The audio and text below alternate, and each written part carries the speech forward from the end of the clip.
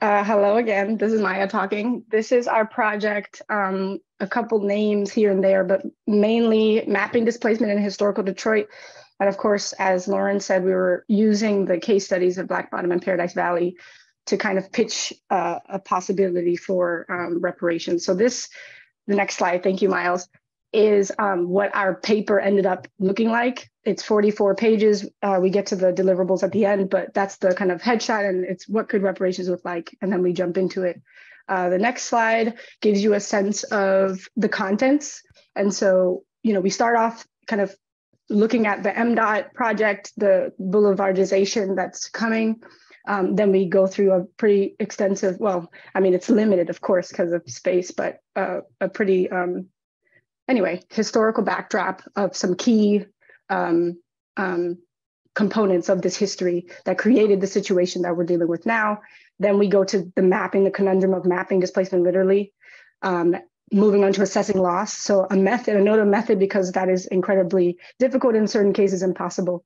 Um, but we still did what we could. And then the forward thinking was bringing in prospects and uh, potentials for uh, reparations nonetheless, right? So none, despite the limitations, what is still possible? And then acknowledgements and we close. So moving to the next slide, our agenda today is, yeah, to go through uh, the highlights of each of the sections of our project, which the three of us kind of divided. Um, and so we'll kind of go in turn mapping through what we ended up being able to achieve in our in our final project. And then recommendations concrete recommendations that we were able to get out of um, oral history interviews that we did with uh, people in detroit prominent figures in detroit including lauren. And then um, discursive themes so the ways in which we think our paper is kind of making interventions into, spur, uh, into specific parts of uh, discourse as well as future directions. Of course this was all preliminary. It really only scratched the surface and so the hope is that as we're doing right now, it will expand and be taken up um, further. So to begin with the historical overview, I think I turn it to Danny here. Yeah, thank you, Maya, for that introduction.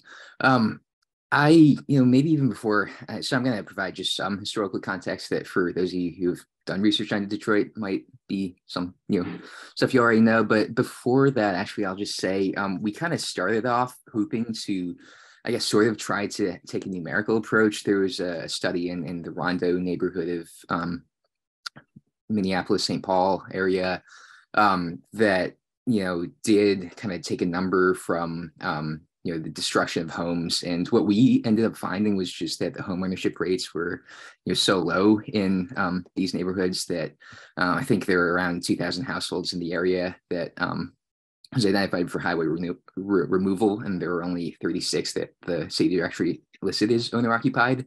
Um, so I, I, guess maybe just wanted to start off with that, um, so people you know that might be kind of the initial reactions you might have to you know what we would look at in the reparations project. Um, anyway just for historical context um, so 1946 the detroit plan um, under the administration of mayor jeffries is released and that's what sort of first talks about um, what they call the Gratiot redevelopment projects. Um, and you know highway construction is obviously a huge part of the post-war um, urban planning sort of vision in Detroit, but it's not necessarily the, the you know the only reason why these neighborhoods are targeted. They're close to the downtown area. There's a um, Black Bottom Paradise Valley. There's there's a um, concern over you know the quote unquote slum that's very you know racialized. There's these um, neighborhoods are conceived in pathological terms that they're quote unquote cancers that would spread if not quote unquote eradicated. And um, so it's the highway is sort of one consideration that the city wants land to build a highway um, to the suburbs, and that the, you know that's something they're going to do anyway. So that was part of the justification for the cost of clearance in these neighborhoods. Um, yeah, another key moment, 1949, Albert Cobo is elected as mayor largely based on support from you know racist white neighborhood associations that oppose both racial integration and oppose public housing. Um, there was another candidate, the, the Democrat that year, um, George Edwards, who was maybe more open to public housing. That's something that we wanted to sort of think through a little bit to what extent was public ho- like significant public housing construction really on the table in Detroit what might that have looked like um, you know even with Jeffries in 46 there's talk of public housing but you know very much ambivalence as well um, there. But you know, once Cobo elected, they're you know really the public housing um, component of this project is really drops. There's a um, kind of significant run-in with the housing commissioner at the time who wanted to build the, the maximum of public housing under the 1954 um, or 1949 Federal Housing Act, and Cobo wants to build the minimum, and the housing commissioner resigns. Um, yeah, so you know, federal policy, of course, is huge in this 1949 Federal Housing Act. Um, provides a lot of money for quote unquote slum clearance. Um, 1954, there's more funding for um, public housing too that you know again Detroit does not tap into as much as it can. Um, 1950 relocation demolition began. 1956 the Federal Aid Highway Act um, provides the funding that eventually covers uh, much of the cost of constructing I-375. 1964 this highway is complete and open to the public. Um, Myles, can you move it to the next slide, please? One thing I'd like to add is I think that the demolition of Black Bottom for I-375 is doubly significant. Um, firstly, significant because of the sheer number of people that were displaced by this project and then adjacent slum clearance, slum clearance projects, um, but also ways in which this infrastructure project kind of accelerates um, white flight and really enables white flight by bringing the city center in contact with the suburbs. Um, and so it's not just a tool that displaces people, but it's a tool that actively furthers um, the spatial pulling apart of black and white neighborhoods and white flight. Yeah, thanks for that, Myles. Um, yeah, so just you know, an organization in this kind of big historical overview session of the I think like 44 page um, report that we put together. The first section's on housing discrimination creation of the quote unquote slum.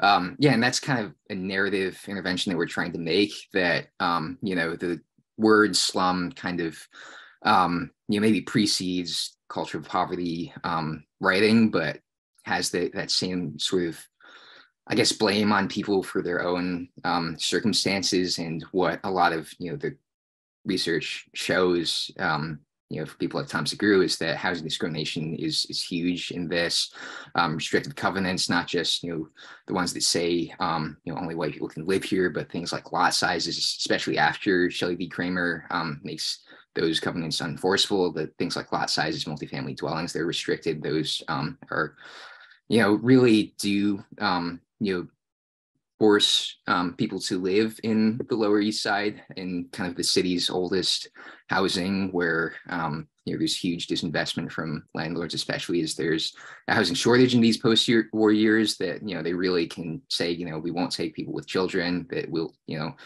just overcharge, won't make repairs, things like that. And there's, you know, at this time, very little that um, renters can do about it. Second big section, slum clearance and Detroit's abandonment of public housing, trying to get it again, those things of, you know, what does, um, yeah, what, you know, maybe was the possibility of significant, you know, investment in, you know, from these federal monies that were available in the, um, you know, real housing opportunities for Black people in Detroit and um, displacement and its aftermath. So, kind of where do people go after um, displacement?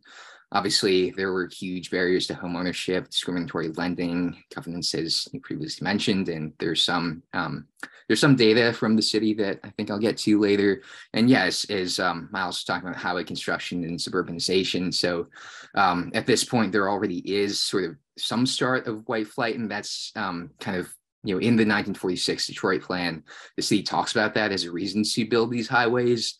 And um, of course, you know, the the effect on you know, property values. And I think even at this point, um, or you know, a little later, um, really the private market is shifting um, significantly toward the suburbs. The Detroit Urban League um, did a report where he said between 1950 and 1956, there are around 178,000 new homes built outside Detroit, only 30,000 um, private units built within the city. And um, among these 178,000 units outside the city, they estimate only 750 have been available to non-whites. And um, even within the city, among these 30,000 private units, the you know 3,176 new public housing units they said were basically um, all that were available to, to Black people in the city. Um, can I have the next slide, please, Myles?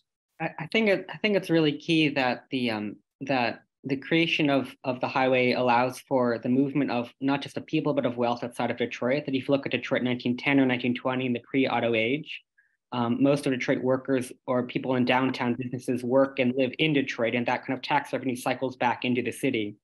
But I think what's really key about what the highway does and what redlining do is that they start to pull apart that wealth where you can work in the city, live in the suburbs, and that kind of pulls that wealth to suburban property tax revenues, uh, majority white neighborhoods, and that kind of promise of the egalitarian metropolis is um, foreclosed on through these kinds of um, highway projects.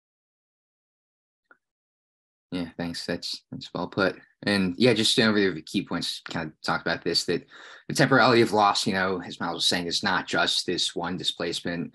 Um, you know, a lot of people coming into Detroit are part of this, you know, great migration, um, fleeing racism in the post-Reconstruction South um, looking for better economic um, opportunities in Detroit. Um, housing discrimination is something they face immediately, and um, the failure of public housing is something that um, you know a lot of people who are displaced, you know, they they do get preference for public housing units, but um, that you know there are things like you know the city, of course, segregates white and black public housing units. And for a very long time. And even after, um, I think the courts tell them that they have to integrate, they, are very slow to do so. So there are um, excessive wait times for Black families compared to white families on on these um, wait lists. Um, forget the exact numbers, but they're they are huge. Um, yeah, and that you know this is a missed opportunity for investing in Black communities' well-being. As I think I'll, I'll get to later, some there is suggestion that there is some support among Black people um, in Detroit that there's an idea that these neighborhoods are not good housing and that they do want investment in creating something better, but that of course doesn't really come given you know disinvestment in public housing. And uh, yeah, face Black Bottom, Paradise Valley were linked to those of other black neighborhoods. Again, just you know limited supply of housing that is available to black people in this time.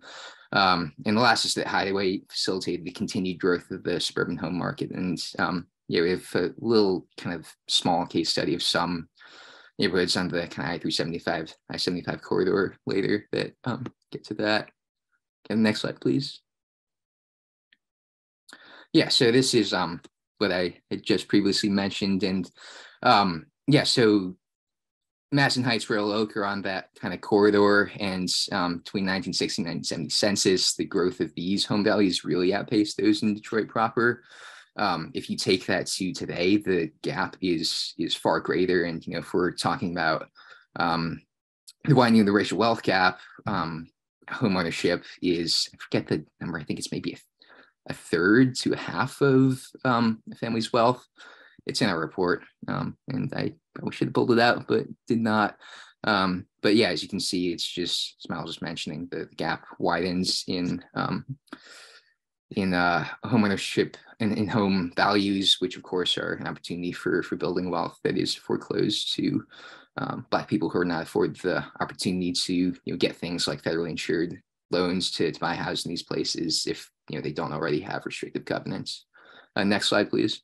I'd also like to just pull out on the right is the redlining map. Um, and it's really interesting to kind of look at the interactive redlining maps online to see that the area of Black Bottom just beneath the T in Detroit um, was explicitly signaled out as the redlined area because of its high Black population. Um, and that the majority of green lined and blue lined areas in Detroit, but also nationwide, because Detroit's story is a national story, the majority of the green line neighborhoods were outside of the Detroit city limits. And that sets up in the 1930s the pulling apart of um, two different trajectories for city and suburb. Yeah, thanks, Myles. And kind of that widening tra- those trajectories, you know, I, I, just pulled up the 2020 census numbers.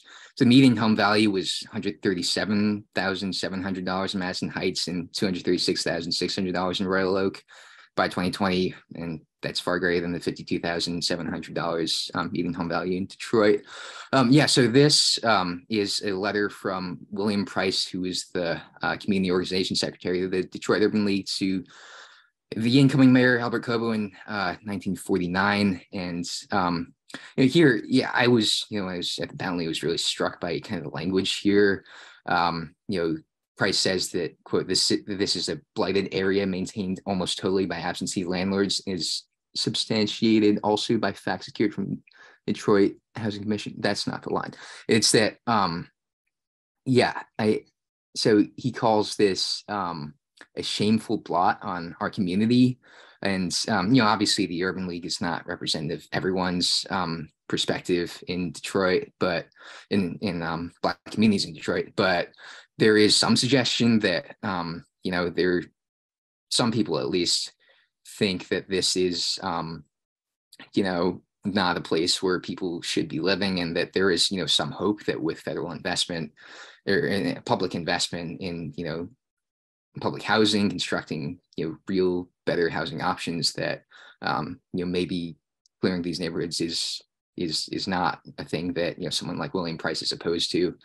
Um, and yeah, I just, that's maybe one of the things that kind of I guess propels us in this um, conversation of like what would maybe real investment have looked like um, in these these neighborhoods. Uh, next slide, please.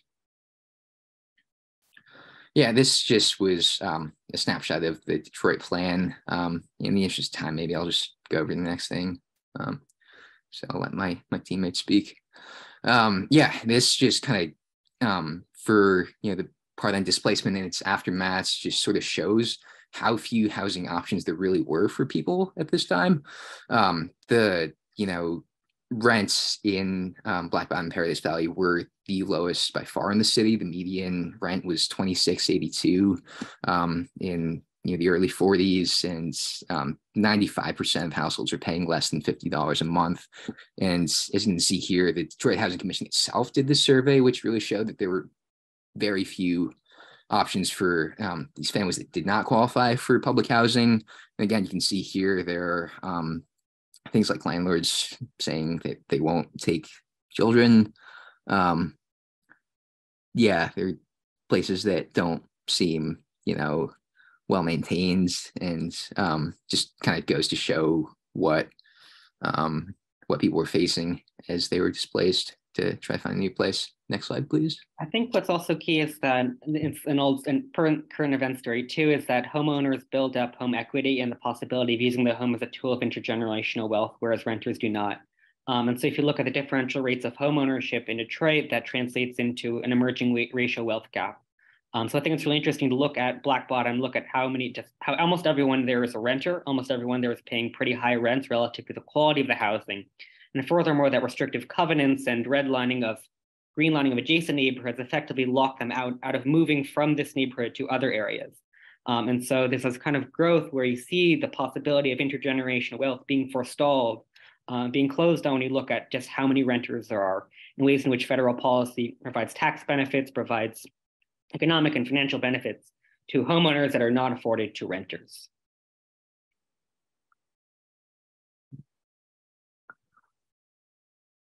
Yeah, so this is um, just what the Detroit Housing Commission um, reported in 1955 on where people went. Um, for the 11.5% of displaced Sheet families had purchased homes. That is, you know, very low number. Um, and yeah, 33.6% moved to public housing. Again, people who wanted to move to public housing did get preference on those wait lists.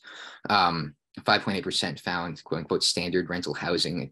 Again, shows the difficulties of private market, but you know, 49% they did not have um, numbers for, which is you know a, a, a huge gap. And um, for trying to figure out where people went, that's you know that that's half of people who are displaced. And um, yeah, I guess maybe speaks to some of the challenges we had with um, in this short time span trying to you know identify um, key information for, for this project. But um, yeah, with that, I'll, I'll turn it over to I think Myles. I mean, I'd like to identify the, that idea in the, um, I believe the Fifth Amendment of the Bill of Rights of no takings without just compensation. To think about the idea that the majority of people from Black Bottom were, I believe, displaced on without compensation on 30 days' notice. Um, that comes to several thousand people, not just in Detroit, but nationwide. Um, because I think that the federal 49 Housing Act and 56 Federal Aid Highway Act, these are both global and local events. You know, they're national events, construction of a national highway system, urban renewal projects in every city um, but also really local ones. And so this is kind of a key, kind of a, an entry point, I think, to look at Black Bottom as a way to understand larger national currents. So here are just uh, two photos of uh, Black Bottom, the area of Black Bottom past and present. Um, what we did is on the upper photo, we overlaid the buildings and the maps of the lost community, and on the bottom photo, the contemporary geography. Um, I think it's really key to look at how the dem- demolition of the community represents a change of scale, a change of land ownership. If you look at the old maps, you see all these hundreds of parcels of hundreds or thousands of buildings. Look at the contemporary geography, larger structures that change in urban scale. Um, I think it's interesting to look at these old maps to see just how many small structures there are and ways in which that small and granular urban fabric um, represents to me a distributed home ownership, distributed property ownership, rental ownership, whereas that concentration of you know five or six buildings on a city block, that's five or six owners, in many cases big owners. Um, and then at the main image on the right shows that area past and present. Key street kind of cutting through the middle of Black Bottom was called Hastings Street, about three miles from the Detroit River, all the way up into um, Midtown and, and beyond. And so you see on top and bottom that area past and present. And as you'll see from one of the following maps, there's a lot of um, Black-owned businesses, Black-owned theaters, hotels, all beneath the path of that highway that you see below. And this is another map that shows the location of the highway relative to um, the percentage of Black people per census tract. Uh, there's two little splotches outside of it on the upper right-hand corner, that's um, by the Royal Oak Township. But the main area is really key to look at how Hastings Street, uh, the core kind of the Broadway or the main street of the Black community in Detroit, goes right parallel, right underneath the path of the highway. And the highway really slices through that community. Um, so there's not just the removal of people for the highway itself, but also the, the physical fracturing of the community down its center line um, and the ways in which you're pulling apart um, urban spaces and the idea of not just connectivity, but um, even sometimes even the ability to walk to work. Um, one thing I'd like to show you all is this little infographic uh, right here, if you can see it all. Uh, this is a little table that shows um, the displaced businesses by type. So across 42 types of businesses, there were at least 756 businesses total in the area cleared for the I-375 highway. Um, obviously, there's also no, I-375 kind of merges onto I-75 as well as you know, Fisher Freeway, dozens of other freeways in Detroit and other cities. And so this is just the 756 businesses total from the area of the project that will be of I-375 that will be demolished and rebuilt as a boulevard, but not any of the other highways in Detroit. And so you can kind of multiply this number here as a fraction of a fraction of that total. Um, I'd like to pull out the just the range of businesses particularly at the bottom, things like uh, furniture, things like furniture stores, um, grocery stores, billiards parlors, and just the sheer numbers of those um, projects, as well as things like certain kinds of luxury businesses, um, like car maintenance shops or a tailor or performing arts businesses. And so I think this begins a kind of question that rhetoric of slum clearance to think about, you know, just how many businesses are there, or types and ranges and diversities. Um, Another thing I'll pull out is um, just 240 businesses from Hastings Street alone, and that's the fraction of a fraction. All of these cleared for the highway, or if not cleared for the highway, closed because the highway kind of slices through the community and cuts off businesses from their prospective clients of Black customers on either side of that highway project. Um, I'd also like to pull out the kinds of the civil society kinds of organizations that were in Black Bottom. Um, significant number of hotels, uh, particularly if you look at the 1940s and 50s green books, um, almost all of the hotels that were listed in the billiards parlors and the kind of black entertainment businesses listed in the black um, in the green book correspond to areas that are now either beneath Ford Field or beneath the path of I-375 and the um, I-75 highway. About 80 to 90% of those addresses from the green book are now beneath the highway. Um, and then the last one I'd like to pull out is that you have um, listed, and, and, these are numbers pulled from the city directory, and the city directory lists the, the, the primary breadwinner or the householder of, the, of each, the main person of each family. And so just listed within the 20 block area of cleared for I-375 in the 1950s and 60s, um, the city directory lists about 2,174 um, households. And that's not that's not people that's households. And so you can multiply that by however many people are in each household. And you pair that number of the 2200 households to the number of people living per room per family say five or six people particularly in black bottom which was the highest density neighborhood in detroit and so you're clearing 20 blocks from the most highest density neighborhood in detroit That easily comes to over 10,000 people for just this small block area. And then you can multiply that for the length of the uh, section of I-75 within Detroit. And then the last statistical I'll pull out is the list of homeowners that among the 2,200 households, only 36 homes were listed as owner occupied. And that's in the entirety of the area cleared for the highway. And so homeowners will have been compensated, although compensated at underappreciated rates because of the legacy of redlining and the devaluation of Black Bottom.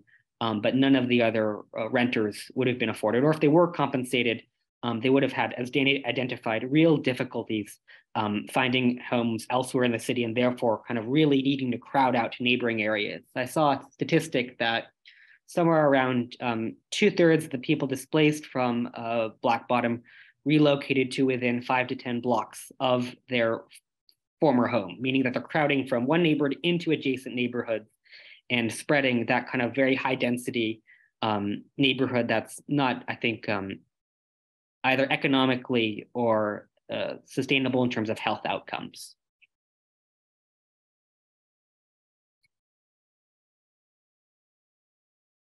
And so that's one, uh, two of the deliverables that we created uh, last last semester. Okay, we are kind of out of time, but I'll zoom through my sections. Um, next slide.